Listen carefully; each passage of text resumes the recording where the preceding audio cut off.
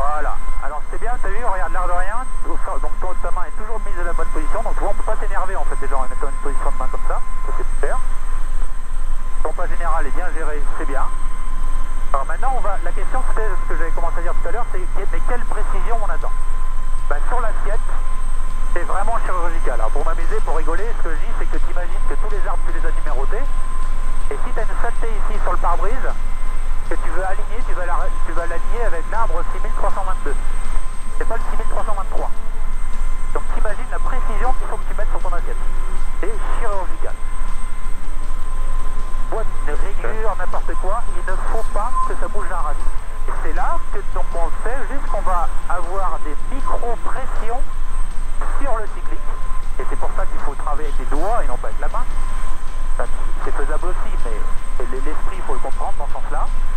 Eh bien, voilà, chercher des micro-pressions. C'est même pas des micro-mouvements, c'est des micro-pressions. En fait, euh, tu peux faire faire évoluer, l'hélico dans plein de mouvements différents. Et si quelqu'un filmait en fait ton, ton cyclique, il ne bouge pas. Il dit mais c'est pas possible, quand on fait le gars est parti à gauche ou à droite, le cyclique n'a pas bougé. Et eh bien si, eh ben, le, mouvement il n'a pas réellement eu lieu, mais la pression elle, elle était là. Tu vois l'idée? Voilà. C'est bien c'est une seule. Alors, bah, puisque on va avancer, hein, pas la peine de pas traîner. Là, en fait, un hélicoptère qui avance assez vite. Alors attention, avant qu'on parte dans ce jeu-là, c'est pas parce que je vais commencer à te parler de vitesse qu'il va falloir que tu commences à regarder ton badin pour le piloter. En hélico, de toute façon, c'est pas possible. T'as un retard.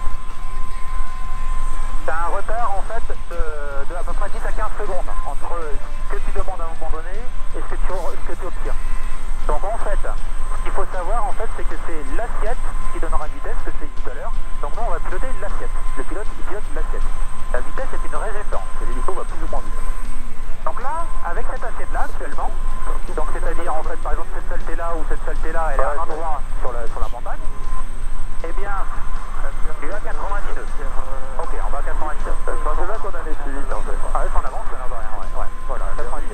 Donc en fait, ce que tu vas faire, c'est la, la, saleté, en fait, l'arbre que tu as derrière ce trait noir. Ouais. Tu vas garder le même arbre, c'est toujours le même arbre que au fond là-bas, mais tu vas y mettre ce trait-là, à la place. C'est parti. Et, maintenant tu pilotes que ça. Cherche pas à comprendre. Voilà. Et là, tu fais ça de façon chirurgicale. Et on attend. Le temps passe, il va se passer 10, 15 secondes. Continue à piloter que son assiette. Alors tu te rappelles, hein, 200% les yeux dehors, le reste du les yeux dedans. Donc, on n'a pas le temps de regarder dedans évidemment, parce que c'est pas 200%, c'est déjà plus que 100%.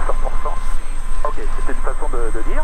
Et au bout de 15 secondes, on va aller prendre l'anémomètre, le, le badin, la vitesse, hein. on va aller la prendre, mais on va pas aller la, regarder pas de temps, on va prendre une photo avec la tendance, s'il y en avait une, d'accord Et bien on va prendre une photo, donc tu vas regarder ton, ton assiette, ton pilotage, et tu vas aller prendre une photo et me dire qu'est-ce qui t'est écrit dessus, et pendant, et pendant que tu me réponds pour dire ce que c'était dessus, tu es déjà en train de piloter ton assiette. C'est parti 80 ou 70. Voilà, on le relieu pour être sûr. Ouais. 80. C'est d'accord? Donc on est passé en fait un écart entre ce trait noir là et ce trait noir là